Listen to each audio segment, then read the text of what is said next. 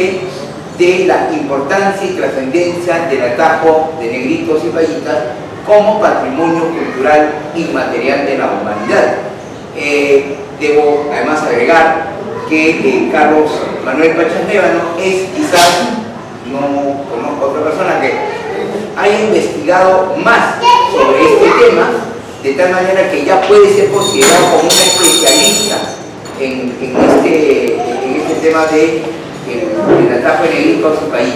Él se ha tomado el trabajo minucioso de investigar paso a paso el tema del atajo de negritos, que por supuesto no solamente se da en la comunidad y en, eh, de Rey, sino que además se da por un, periodo más prolongado. Todos esos detalles hoy nos los dará el maestro Carlos Manuel Pachaleo, de manera que es un lujo que nos pueda compartir sus conocimientos respecto al tema del ataque de negritos.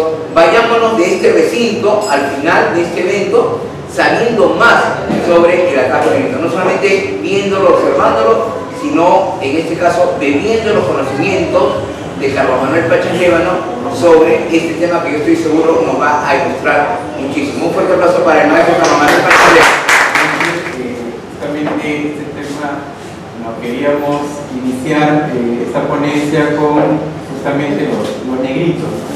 Es que ven que jóvenes como eh, los de Chamorro, Centro Poblado de Chamorro, estén pues interesados en también promover la, cultura, especialmente de estos atajos que como sabemos es pues, patrimonio cultural inmaterial de la humanidad reconocido por la UNESCO. ¿Cómo así eh, me interesó quizás ahondar un poco más ¿no? entre tantos temas que se puede abordar en la provincia de Chincha? Y algo que rescatar también es que en las clases que nos daba el profesor Rolando cuando estábamos llegando para profesores de Historia y Geografía, él mostraba la preocupación, como manifestó, de que todavía Chincha hay mucho que estudiar, hay mucho que difundir, porque historiadores como ya lo había mencionado y que todos conocemos como eh, Luis Canepa, Florinda Pachas, eh, Gutiérrez, entre otros, han aportado, han dado su granito de arena, pero aún falta más, muchos más aspectos para poder andar, teniendo en cuenta las fuentes, ¿no? las fuentes históricas como son las escritas, las orales, eh, las monumentales, etc. En el caso de los atajos negritos, más que todo he tomado las fuentes eh, escritas, pero también las orales. Es lo que más o menos vamos a, tratar de, revisar cómo, es el proceso de eh, esta danza que ha sido declarada Patrimonio Cultural Inmaterial de la Humanidad. Eh, para ello hay un historiador Hawkins que justamente hace un estudio acerca de las danzas de la costa del Perú y él indica pues que esta danza es muy antigua, incluso se conoce eh, por internet, quizás uno puede descubrir que según dice que el origen del, atajo de los negritos, eh, el más difundido es que se eh, inicia en Guanto, en una hacienda de Guanto, en la cual nosotros o, el hacendado da libertad a los negros. Entonces, Hawking le decía, ¿qué, son los atajos según Hawking? Es un grupo de muchachos adolescentes vestidos a la usanza de los Reyes Magos, justamente como ustedes han visto, como tienen también su gorra, o sea, tratan un poco de, imitar a los, Reyes Magos. Eh, cantan bailan acompañados de un violín eh, en adoración al niño Ahora eh, se le llama negritos, ¿por qué? Eso también es una, una, una, pregunta interesante, porque acá sabemos que no solamente hay atajos en el Carmen, sino en Sunampe, en Ociopravo, acá en Chincha O sea que también los mestizos eh, pertenecen a estos atajos de, de negrito. Eh, y considera, esta es una, una herencia, una herencia musical que se ha venido dando más que todo eh, en, nuestra, en nuestra provincia y que representan de alguna manera, como vamos a ver más adelante, eh, a los negros esclavos que fueron forzados a trabajar en los campos, como los panalibios, por ejemplo. Eh, en estos cantos de los panalibios eh, ellos dan a conocer el trabajo forzado que ellos realizaban en las haciendas. Ahora, continuando, hay un antecedente. ¿Cuál es el antecedente? ¿Cómo así se origina eh, estos ataques? Eh, ya hay una antigua costumbre española de cantar villancicos desde las fiestas de Navidad. Ahora que estamos hablando del siglo XV, siglo XVI. Ah, entonces, se inicia con, esta costumbre eh, y empezaron pues a, a, difundirse no solamente en Europa o en España, sino en las colonias españolas como en nuestro país. Pero más que todo ya a partir del siglo XVII, los años 1600 aproximadamente. Eh, pero ya eh, involucraban algunos elementos musicales propios. Recordemos, por ejemplo, que el cajón eh, es un instrumento musical en la cual pues, los negros esclavos trataron de, crear acá. algunos manifiestan que, por ejemplo, lo decía el profesor Rolando, los esclavos que llegaron al Perú eh, muchos en, en, África, en las costas occidentales del África, había constantes eh, guerras entre, entre, diversas tribus africanas. Y quizás muchos de estos prisioneros eh, eran reyes, eran reyes o eran príncipes. Y estos también venían a, a, América y específicamente al Perú. Pero algo común entre esas tribus africanas era el sonido del tambor entonces los hacendados, al más o menos sospechar de que con los tambores ellos quizás podrían comunicarse, porque no hablaban el mismo dialecto, ¿no? venían de diversas partes del lado, pero algo en común sí era el tambor. Entonces prohibieron el, uso de tambor en los, en los afros, en los palenques. Eh, entonces, poco a poco, eh, fueron con la creatividad pues, que tenían los afros, fueron creando el, llamado cajón. Entonces se van introduciendo algunos elementos propios eh, americanos traídos también por los europeos. Siguiente, por favor. Ahora, este es el que decía, ¿no? El más difundido acerca del origen de los, atajos eh, se manifiesta que es en Guam. Y que ese asentado da la libertad a los negros y ellos enseñan de agradecimiento, como era cercano a Navidad, esta, esta libertad, en que acudían a los nacimientos para eh, bailar y cantar al niño Dios. Siguiente. Eh, ahora, ¿cuándo se origina en Chincha? Si hay una, una, fuente que indica, o que indica que, surge en Huanco, ¿cuándo se dice en Chincha? De acuerdo a las versiones orales, por ejemplo, de Elisa Milaní, que justamente Verano Negro llega, lleva su nombre, Dominga Elisa Milaní Daza, ella manifiesta que ya eh, personas adultas eh, o mayores que ella, porque ella nació en la década de 1930, imagínense, ¿no? O sea, ya eh, personas mayores ellas ya practicaban la danza de las pañitas. ¿no? Esto quiere decir, y así otros entrevistados indican pues que eh, sus antecesores ya danzaban los negritos y danzaban las países. Entonces esto nos da a entender que a fines del siglo XIX aproximadamente surge la danza de los negritos acá en la provincia de Chile.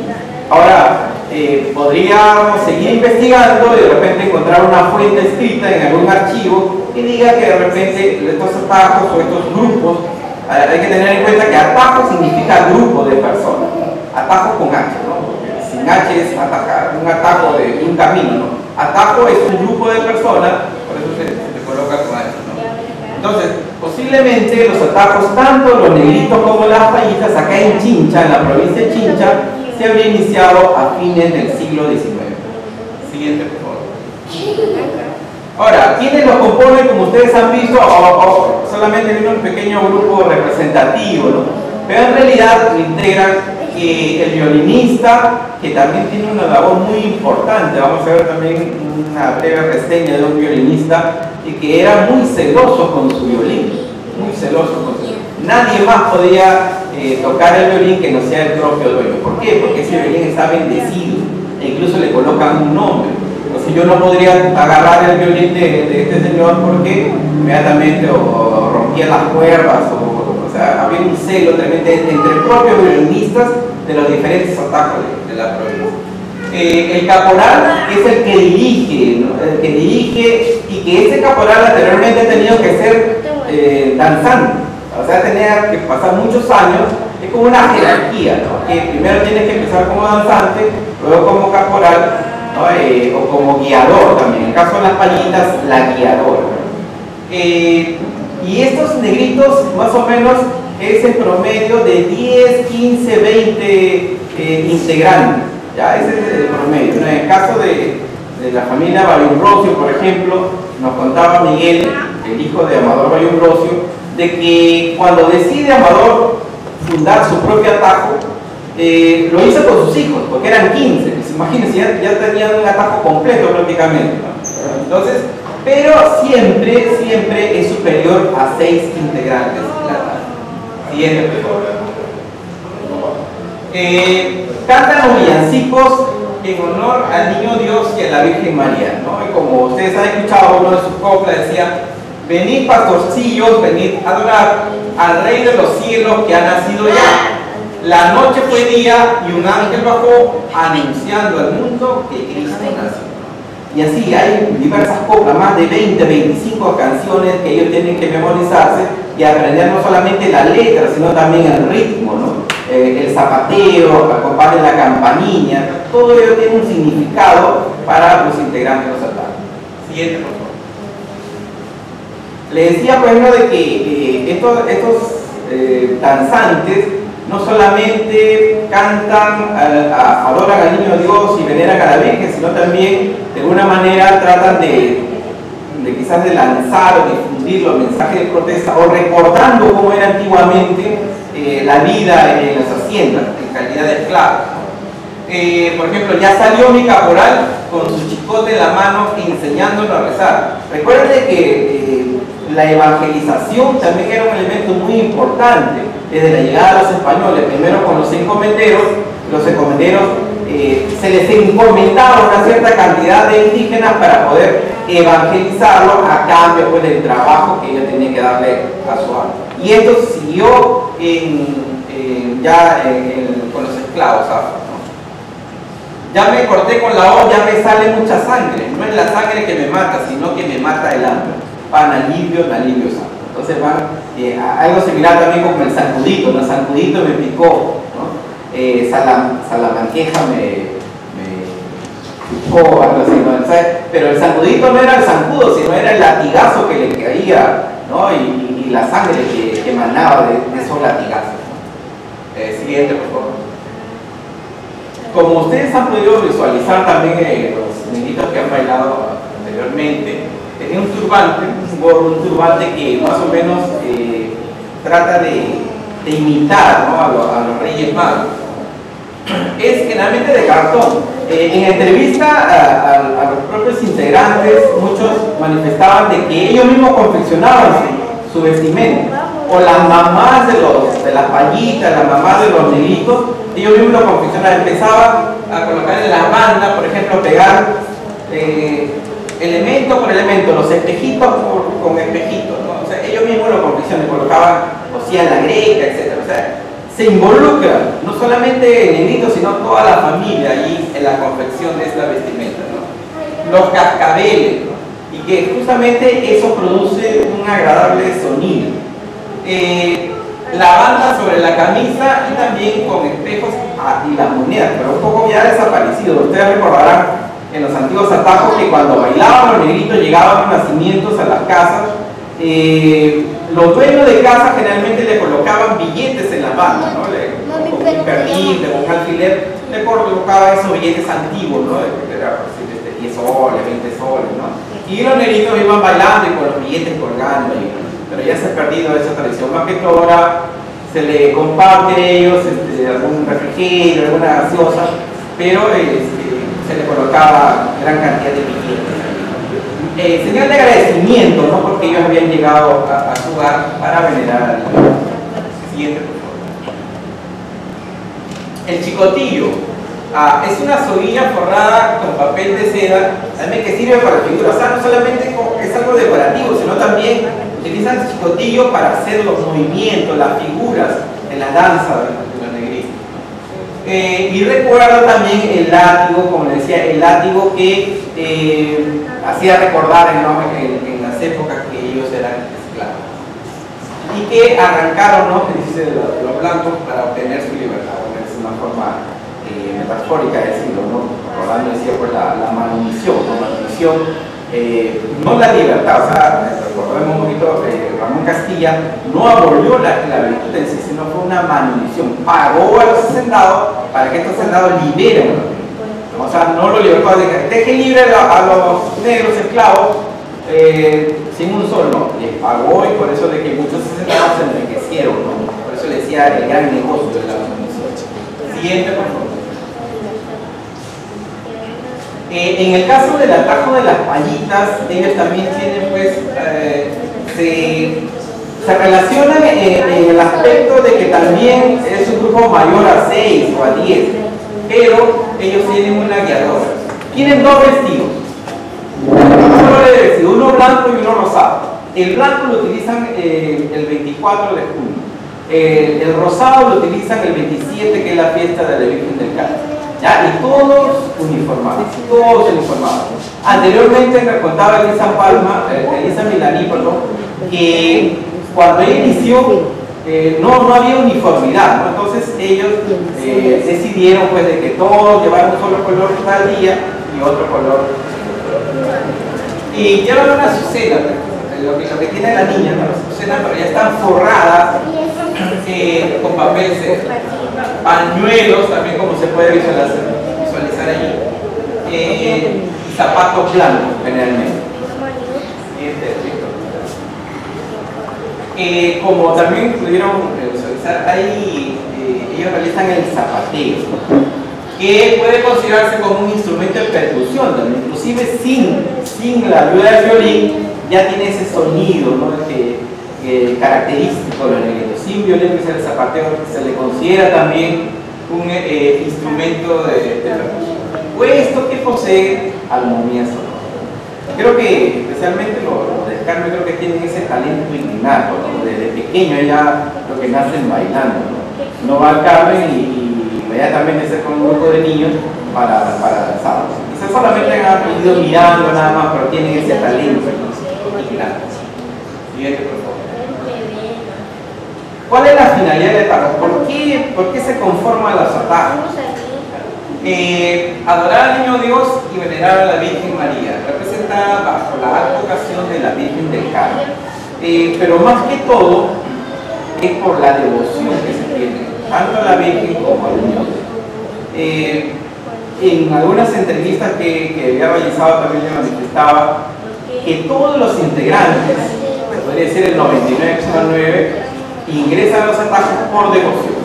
Otro quizás también por promesa de los padres, porque quizás eh, le ha concedido un milagro a la Virgen o al niño Dios, a, este niño, es lo que también este, sucedió con Amador Bayumbrosio. ¿no? Amador Bayumbrosio, ¿por qué empezó desde muy pequeño a zapatear? Porque él se ahogó en una, se estaba ahogando en una sequía del carro y fue salvado, fue salvado eh, y desde ese momento sus padres lo, eh, a la Virgen María y desde allí tuvieron la promesa de que Amador fuera eh, zapateador, fuera integrante de, del atajo del, del carro y luego pues formó su propio atajo.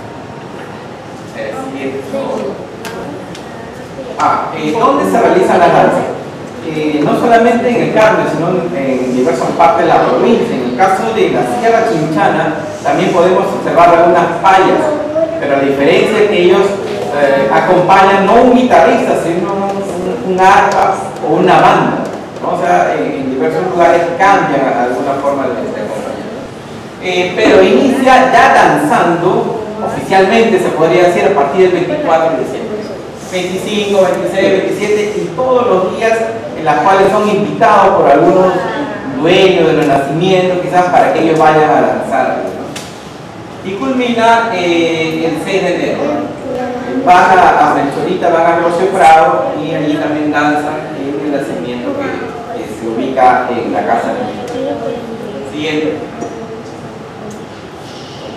Eh, vamos a ver que hay fases también, ¿no? O sea, no, directamente al 24 de junio, el 24 de diciembre inicia, no. Hay una fase, una primera fase que empieza en octubre. En octubre inician los ensayos. Imagínense, octubre, noviembre y. Tres meses para poder prepararse eh, para iniciar el 24 hasta el 6 de enero. Eh, aquí que algo muy interesante también que me llamó la atención son sus normas de convivencia. Eh, ¿Por qué? Porque todos los que integran allí tienen que cumplir esas normas. La puntualidad es uno de ellos, la responsabilidad. Entonces, eh, el respeto, especialmente pues, al caporal, al guiador y a, que les enseña. Y la predisposición. Entonces, si reúnen estos requisitos y practican estos valores, entonces inmediatamente son amigos. Pero si no, eh, eh, no lo admiten en la, en, la La predisposición para aprender nuevos pasos. Siguiente, eh, una semana antes de, Navidad se procede con el bautizo. Un bautizo simbólico, tanto para los negritos como para las payitas. ¿Y quién es el que bautiza? En el caso de las payitas, el guitarrista. El guitarrista se convierte como, como una especie de cura, es alcalde del Carmen, Juan Guillén, es guitarrista de las payitas de Elisa Milani y él empieza al bautizo. No sé si se podrá apreciar, pero ahí está la niña, está en cuclillas, está ya con los pañuelos en la cabeza y la madrina está al costado echándole un poco de colonia. Ya hacemos como por decir echarle el agua bendita, se le echa la colonia y el, el, padre o el que hace a veces el sacerdote dice yo te bautizo, ah, pero le coloca un nombre. En el caso la payita, generalmente un nombre de una flor, Azucena, ¿no? Pongamos Margarita, yo te bautizo, ¿no? En el nombre del Padre, Hijo y Espíritu Santo. Y para sellar ese bautizo, se le coloca unos granitos de sal en la lengua. Y ahí inmediatamente queda bautizada y lista para poder danzar. ¿Ya? De igual manera, eh, en, el caso de los negritos. Siguiente, por favor. Eh, ¿Cuál es la labor del padrino o la madrina? Eh, comprarle la vestimenta, tanto al negrito como a la paella. O quizás, eh, quizás mm, dar la, gran parte de, ese vestimenta, ¿no? si cuesta 200 soles, al menos dará pues 100, 150, ¿no? pero en algo o en gran parte le ayuda económicamente, porque este niño quiere pertenecer a la etapa. ¿no? Entonces, bueno, acá también en el caso de los atajos de, negritos, el atajo de ya de la familia Córdoba, que también se le conoce como el atajo del Carmen. De igual manera, el violinista hace de sacerdote y lo bautiza en el nombre del Padre, del Hijo, del Espíritu Santo y le coloca eh, unos granitos de sal en la lengua. Muy bien, siguiente eh, en el caso del Carmen, se acompaña también con la pioncita. ¿Qué es la pioncita? La pioncita es la Virgen del Carmen, pero más pequeña, que va a peregrinar eh, por todo el Carmen, por todos los centros poblados.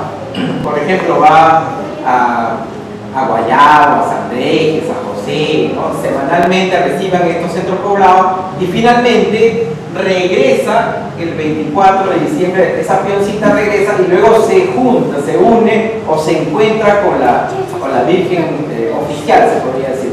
Pero se le llama la pioncita porque es la que va recorriendo por todos esos centros poblados. El 24 de diciembre ya inicia la danza con la llamada misa de gallo.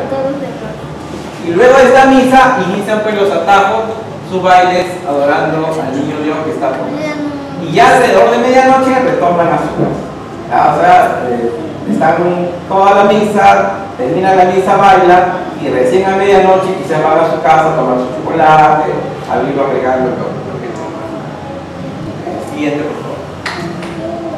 Eh, miren, eh, se, se dormirán pues dos, medianoche, una de la mañana, dos de la mañana, pero ya a las nueve tienen que estar listos, limpiecitos, en el frontis de la iglesia porque nuevamente inicia la peregrinación por los nacimientos que algunas familias los han solicitado.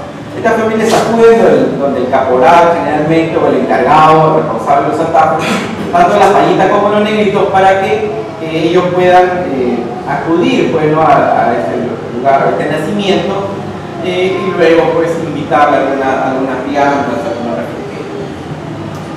Siguiente, por favor.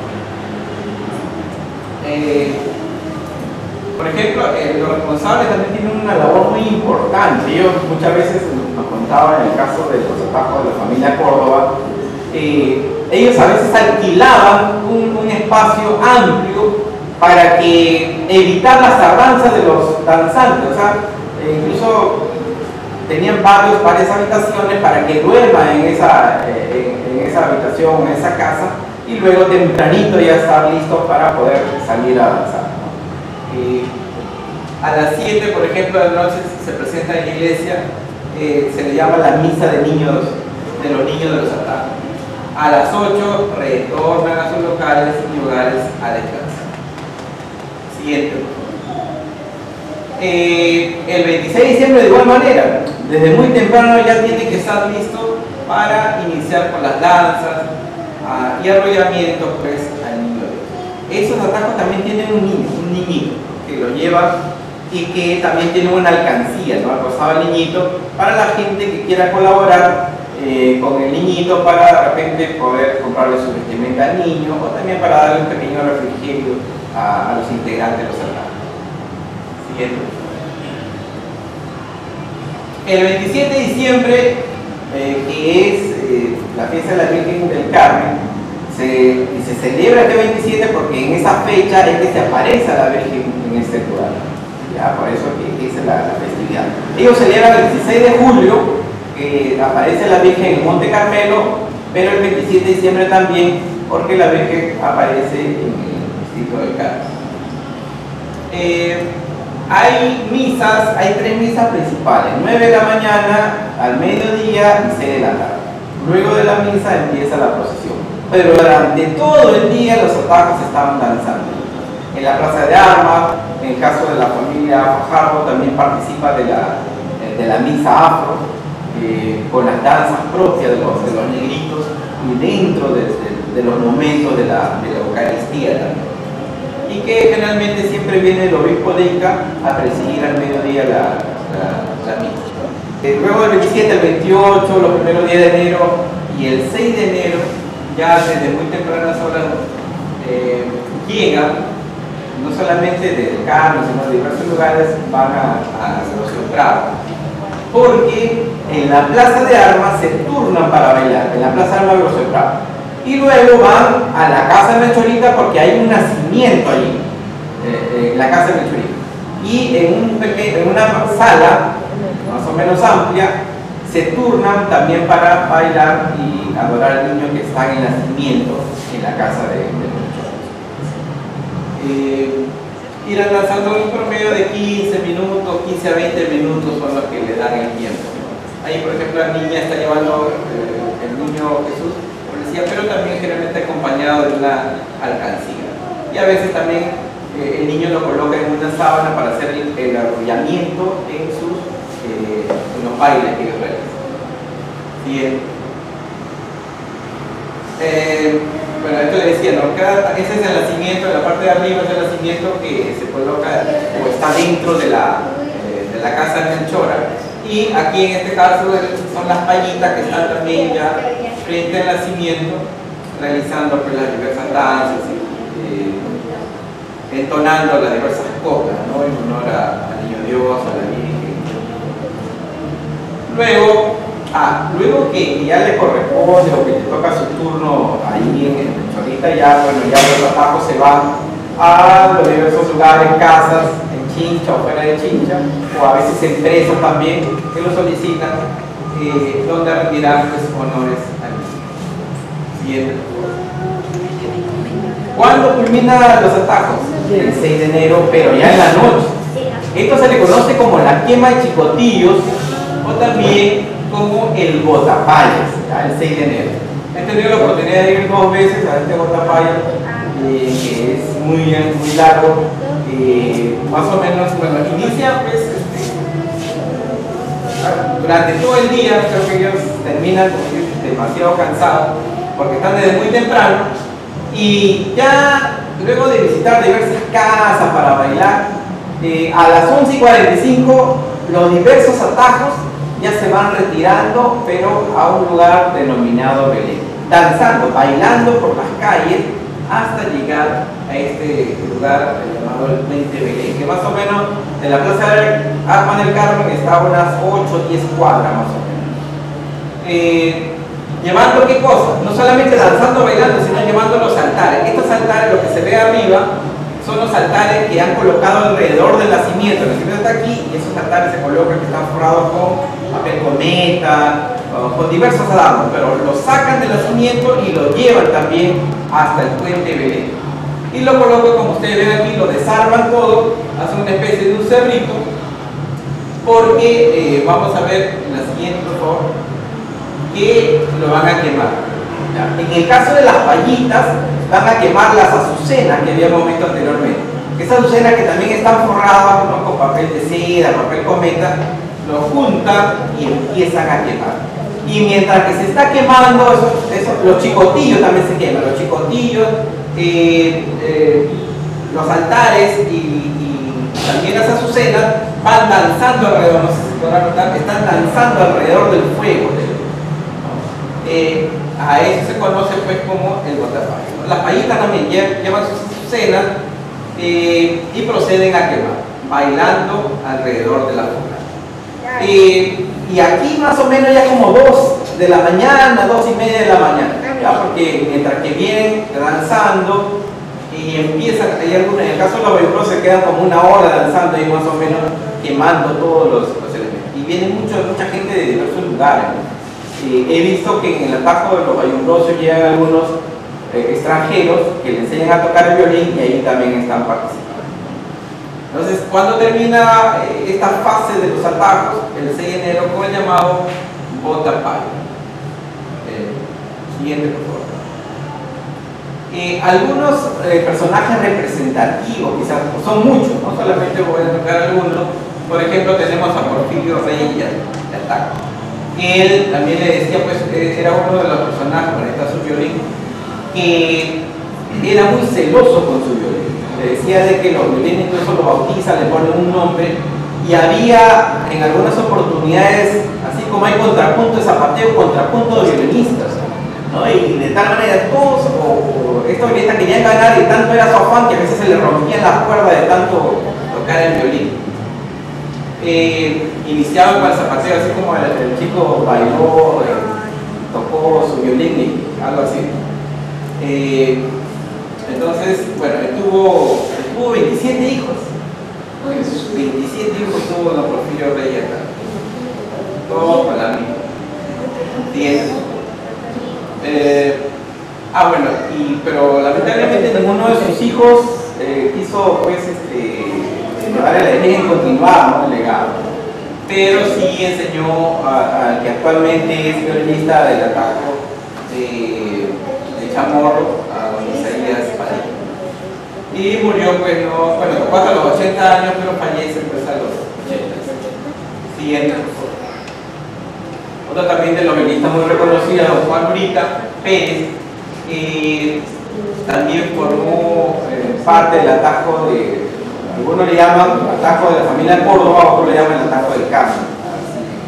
Eh, eh, pero él enseña a tocar el violín a Amador Bayuntos. También le enseña a Guillermo Marcos Santa Cruz. Él tenía su pequeña tienda, una tienda, un campo, y allí pues les enseña tanto a, Amador como a, Guillermo Marcos Santa Cruz. Siguiente, por favor. Elisa Milaní eh, justamente lleva Verano Negro el nombre de, Elisa. Eh, ella participaba, ella era payita desde muy pequeña, ya era payita. Eh, y funda su propio taco en el año 1970. Ella fue reconocida pues, por el Ministerio de Cultura, Municipalidad de Chincha, Carmen, pero actualmente ya tiene cargo a su hija Marta Palma Milán que bueno, cuando tuve la oportunidad de, entrevistarla, ella decía que tenía gran devoción al niño Dios. Bailaba, se casó y siguió bailando. He visto también que hay unas países ya mayor edad, tienen más o menos alrededor de 30, 40 años. Eh, fallecieron las caporales que ella, que ella danzaba cuando era pequeña y luego pues ya este, pasado un gran tiempo ella trabajaba en la cooperativa Buena Capa ya casada y eh, dice que trabajando veían pues muchas azucenas, ¿no? decían, cuántas azucenas, qué lástima que no haya tallitas, porque ya se había desactivado el momento. Y entonces ella tomó la palabra y dijo, yo voy a reactivar el atajo a la payitas. ¿no? Y entonces a partir de 1936 hasta la actualidad que tiene su hija Marta Palma, el atajo de, de la El siguiente. Don Guillermo Marcos le decía que fue alumno, se podría decir, de, eh, fue alumno de don Juan Lurita, Juan Lurita, y se inició como negrito también eh, Marcos a la edad de nueve años y estuvo eh, un lapso de tiempo también, ya no participó como danzante, pero aprendió a tocar el violín justamente del señor Lurita. Y ya en 1990 toca como violinista en el carro, al lado de Amador. Hasta el año 90, a partir del año 90 hasta el 2020 creo que fallece, estuvo ah, como violinista principal en el atajo de, del carro. Siguiente.